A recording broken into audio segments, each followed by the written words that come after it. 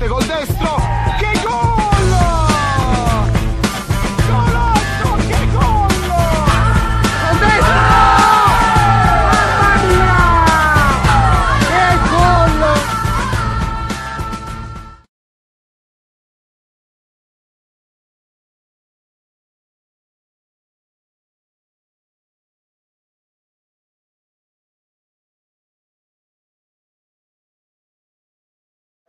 Siamo qui con Catone nel finale di primo tempo, Pescara VLM 2-0 per voi. Catone, allora, guardiamo gli scarpini nuovi, magici. Anche i miei, anche i miei. No, questi sono nuovi, questi sono nuovi. oh. Se sono nuovi, eh, ti danno un tocco in più oggi, cosa mi dici? Vabbè, stiamo giocando bene, sia in avanti che indietro. Eh, devo fare gol. Devi fare gol, allora fare devi, gol. devi ingegnare gli Devo fare scarpini. gol, devo ingegnare gli scarpini, devo fare gol. Va benissimo, in bocca al secondo tempo. Andiamo a parlare ora con eh, i giocatori VLM. Primo tempo un po' in difficoltà, avete provato a reagire ai due gol subiti, eh, c'è, poca- c'è poco movimento lì davanti, cosa Dobbiamo solo riuscire a segnare, poi dopo la partita si mette in discesa.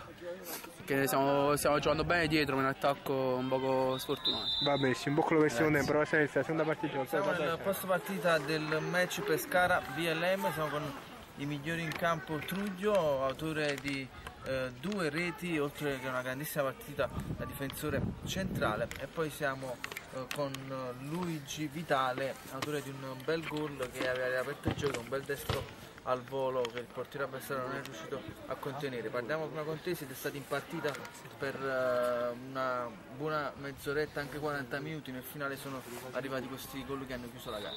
Purtroppo abbiamo giocato bene, solo che troppo tempo che non giocavamo insieme, questo è il primo anno che giochiamo insieme, siamo stati nuovi giocatori. Purtroppo quest'anno è andata così, pensavo di rifarcela la prossima. Però per quanto riguarda la partita sul 3-2 Mollica ha avuto anche la palla per pareggiare, Pareggiare. è stato bravissimo il portiere, Portiere, quindi infatti. poteva cambiare davvero tutto in quel momento. Siamo stati sfortunati anche per bravura, però soprattutto per bravura degli avversari che hanno giocato bene.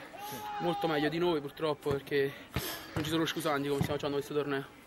Vabbè, però a parte questo ci sono ancora le partite per recu- recuperare, per salvarsi con...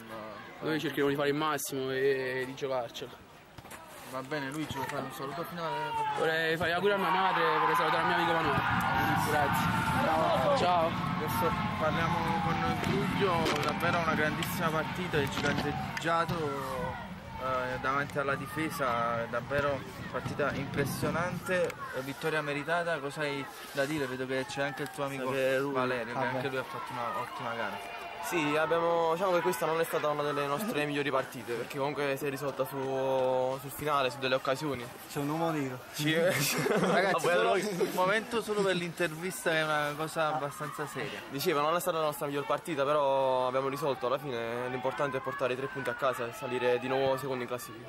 Giusto, secondo in classifica, quindi questo Pescara che punta al massimo, Ovviamente puntiamo alla vittoria finale. La vittoria eh, finale. Cosa ti è piaciuto e cosa non ti è piaciuto di questa sera? Allora, diciamo che siamo stati un po' più cinici sotto porta rispetto alle altre partite, perché comunque abbiamo avuto nel secondo tempo tre occasioni da gol, abbiamo fatto tre gol. Sì. Però non abbiamo giocato comunque come le altre partite con passaggi da sotterra, abbiamo, abbiamo giocato molto bene. Ho capito.